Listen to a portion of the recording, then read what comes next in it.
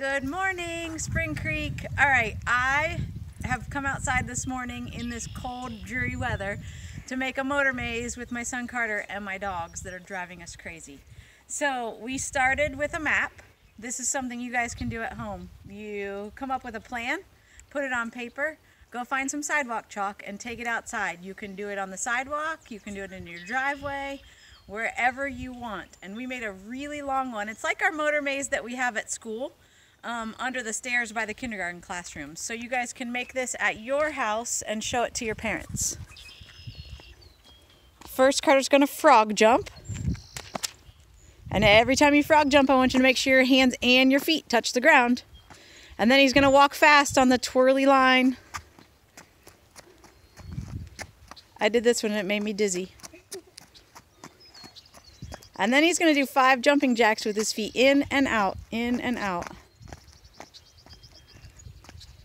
Then he's going to balance on the line.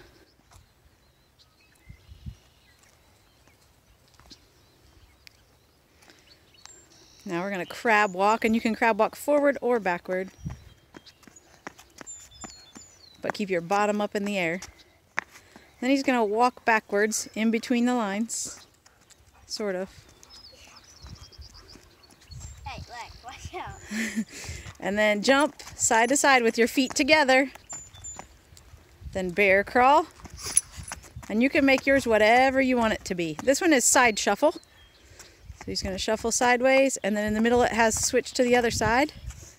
And now balance on one foot for 10 seconds. And then switch feet to the other foot and hold very still like a statue.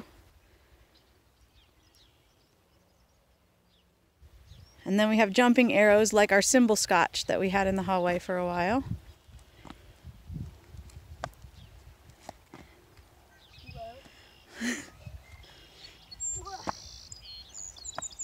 and then run all the way back to the beginning.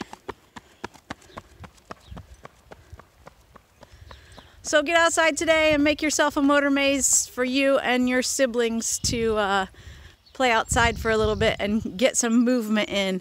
Miss your smiling faces, you guys. Have a good day.